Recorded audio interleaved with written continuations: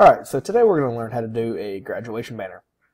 Um, we're just essentially going to make it from scratch. Uh, so the first thing we're going to do is you're going to want to set up your page width, which we're going to do a 4x8 banner. So this is the length. It's going to be 8 feet. And the width is going to be 4 feet. Alright, so let's go ahead and save this project.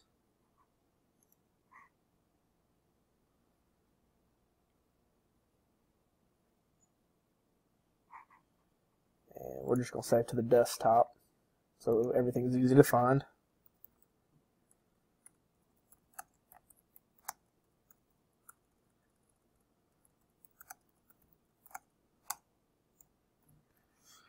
Alright. the program we're using is called Corel Draw. You can use different graphic arts programs. This is just the program that I have that I like to use.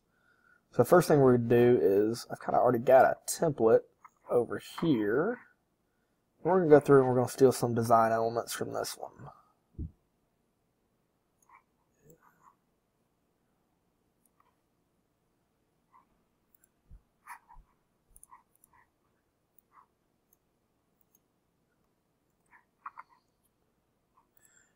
Now, these design elements I'm pulling from are from a 3x6 banner, so we're going to have to make them proportional to work on a 4x8 banner.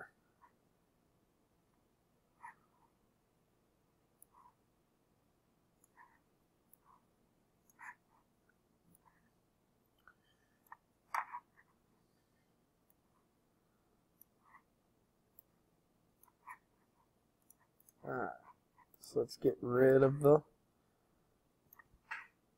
frame around it.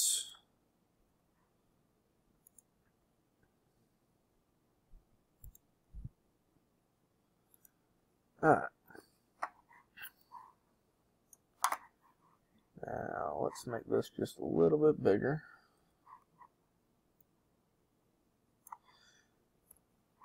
As you can see, that didn't quite pan out proportionally. So what we're going to do is we're going to slide this picture up a little bit, and we'll go ahead and replace that picture. And how you're going to do that is you can come to Effects, PowerClip, and Edit Contents. I can remove that old picture. We're going to import our new picture.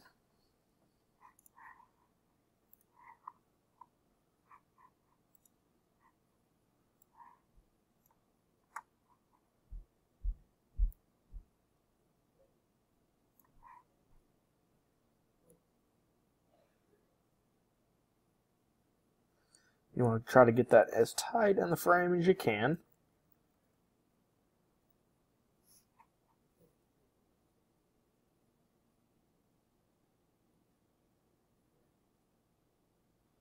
Alright, then we can delete this old picture out because we don't need that anymore. So then we're going to come through in Effects and finishing editing that level in PowerClip. And it's all nice and neat now. And what's nice is it, it contains it inside that box that you were working with. Alright, so let's move this off to the side for now.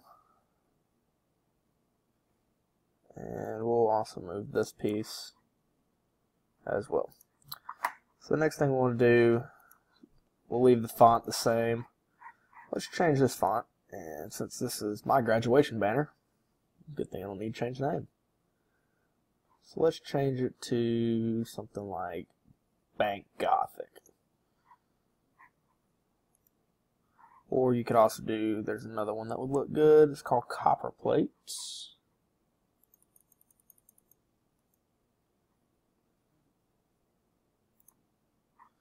So let's do that. Let's go with the Copperplate. There we go.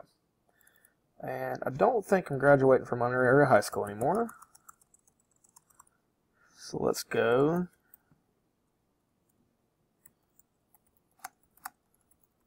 with the University of North Georgia.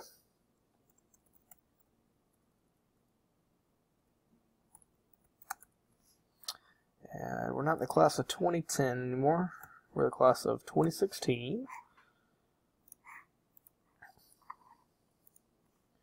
Let's drop that name down just a little bit more. I'm going to move all this up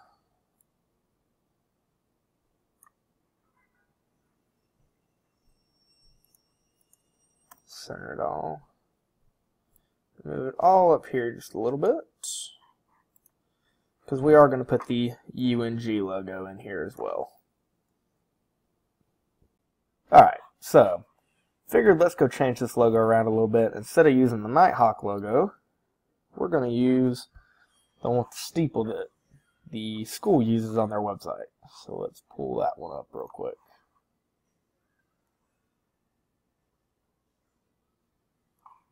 There we go. Actually, that's not what I saved it as. There we go. So let's center that up. We'll actually put that in the center right here.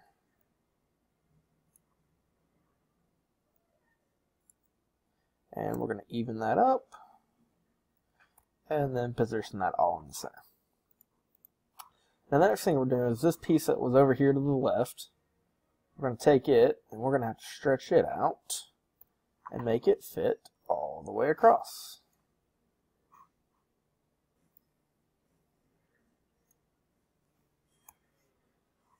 And it's actually going to be, if the page is 98, this is going to be 96 inches wide. And we'll center that. We'll take it to the top.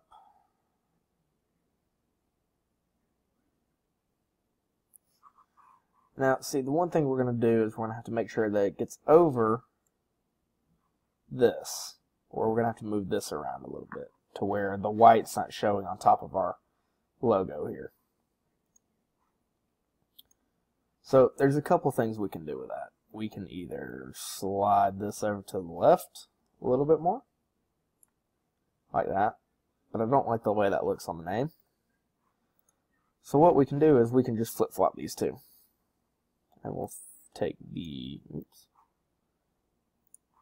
we'll take the graduation year and put it up here, and the actual logo down here on the bottom.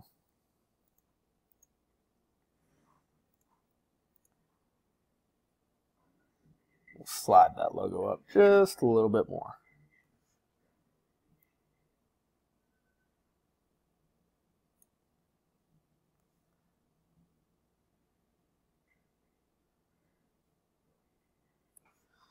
Let's make this class of 2016 just a little bit bigger so it's legible.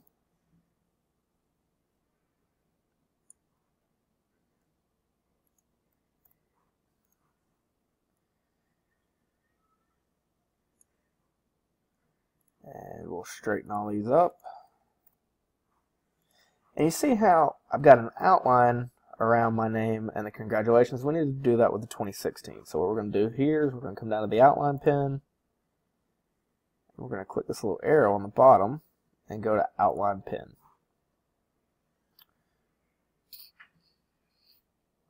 So we're going to, let's try with a 16, actually let's go with a 24 point outline because what we're going to do is we're going to put it behind the fill and also scale it with the image. So if we make the image itself bigger, the outline will follow it. And we're going to make that outline our white that we're using so that gives us some separation. And pow, there we go. Because see, since we used a white outline, you don't see the outline on this side, but you get some separation here within the color. And let's see what these are on their outline pen as well. And we'll just try to match it best we can. That's also close to a 24 point. So we'll just leave that as is. Drop that down just a little bit.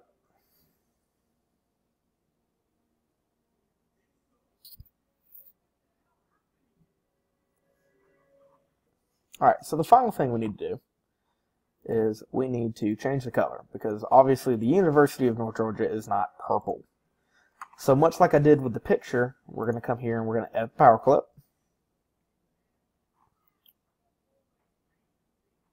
And edit contents. And you'll see I've got a purple sheet in here. All we're going to do is we're just going to import a blue one that I have pre-done. I've got some pre-done templates and we'll change the color on it real quick. Alright, now see I've got two blue backgrounds. North Georgia's blue is just a little bit darker to match the logo, so we're going to run with that. and see how that looks first. And now we're going to make this big, as big as the purple one. We can just delete the purple one out and drop the blue one in. See, uh, it still needs to be a little bit bigger.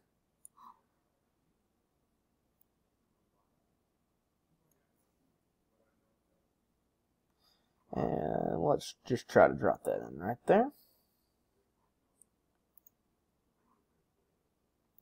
And there you go. Now we've got a good looking graduation banner. Notice I've got a little bit of gray down here on the bottom. We can actually make that gray line a little bit bigger by dropping it down some.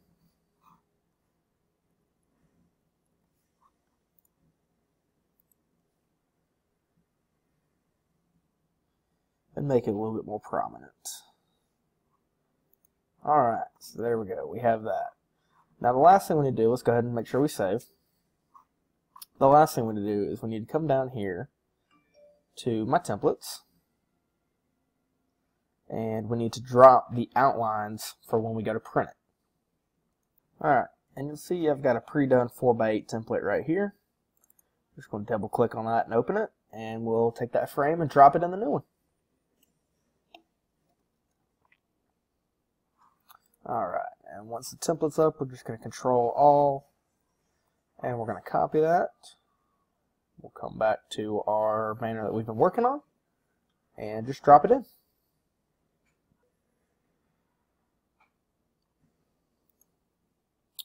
Alright, and let's drop that in. And it should fit perfectly in there. And there we go. And you'll see when we come through in here, if I zoom in a little bit,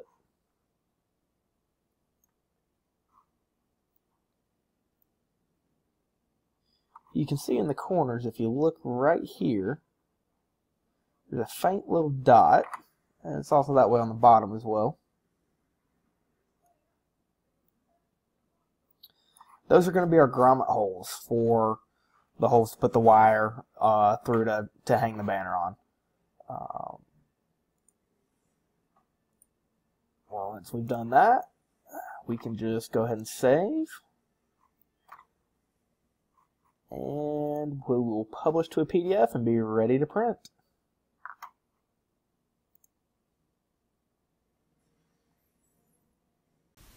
And we'll export this to our desktop, and there you have it. That's how you make a graduation banner.